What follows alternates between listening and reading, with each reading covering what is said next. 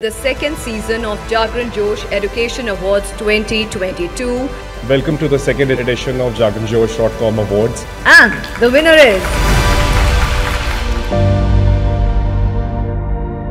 शिक्षा के महत्व को समझते हुए कुछ लोग इसे देश के हर कोने तक पहुँचाने में शिक्षा के स्तर को और बेहतर बनाने के लिए लगातार काम कर रहे हैं देश के ऐसे ही एजुकेशनल लीडर्स टीचर्स और स्टूडेंट्स को जागरण न्यू मीडिया ने जागरण जोश डॉट कॉम एजुकेशन अवार्ड के दूसरे सीज़न में 31 मार्च को दिल्ली के दलित होटल में सम्मानित किया। इस इवेंट को मुमकिन बनाने के लिए एसोसिएट स्पॉन्सर्स रेडमी और सोफोस रहे।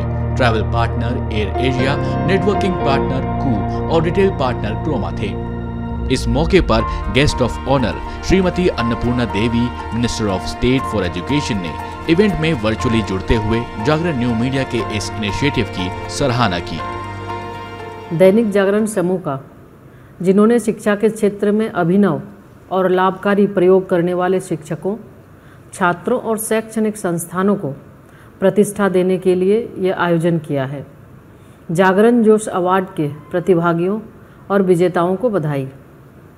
आदरणीय प्रधानमंत्री श्री नरेंद्र मोदी जी, देश की शिक्षा व्यवस्था को प्राचीन समृद्ध भारतीय संस्कारों और परंपराओं से जोड़ते हुए वैश्विक और भविष्य की चुनौतियों, ज़रूरतों के अनुरूप सशक्त करने को प्रतिबद्ध है। राष्ट्रीय शिक्षा नीति उसी दिशा में उठाया गया एक दूरदर्शी और मज़बूत कदम है। मैंने पाया है कि दैनिक जागरण का नियमित पृष्ठ जागरण जोश, छात्रों को अध्ययन, रोज़गार और शिक्षा के क्षेत्र में अभिनव प्रयोगों से अवगत कराने के लिए महती दायित्व का निर्वहन कर रहा है। काफ़ी हद तक मैं इसे नई राष्ट्रीय शिक्षा नीति के लिए जागरूकता उत्पन्न करने वाला एक मंच भी मानती हूँ। हमें गर्व और कृतज्ञता की अनुभूति होती है।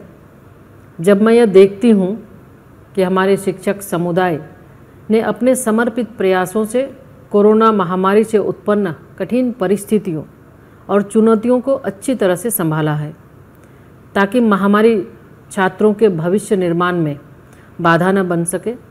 यही कारण है कि शिक्षकों को भी डॉक्टरों, नर्सों जैसे अन्य लोगों के साथ साथ कोरोना योद्धा की श्रेणी में माना गया।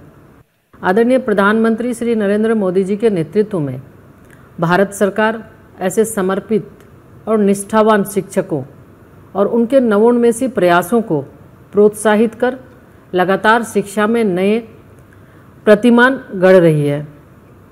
राष्ट्रीय शिक्षा नीति इस दिशा में एक शानदार कदम है।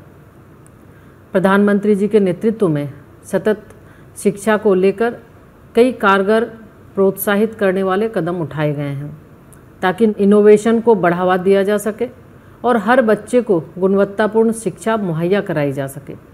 मुझे बेहद खुशी हो रही है, दैनिक जागरण ग्रासरूट स्तर पर शिक्षा के क्षेत्र में उल्लेखनीय काम करने वाले शैक्षणिक संस्थानों, छात्रों और शिक्षकों को पुरस्कृत कर रहा है।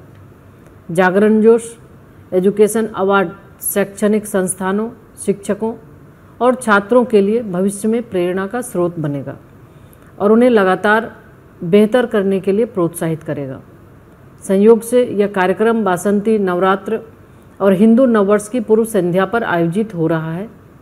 मैं आप सबको हिंदू नववर्ष और वासंती नवरात्र की शुभकामनाएँ प्रेषित करते हुए इस आयोजन की सफलता की कामना करती हूँ।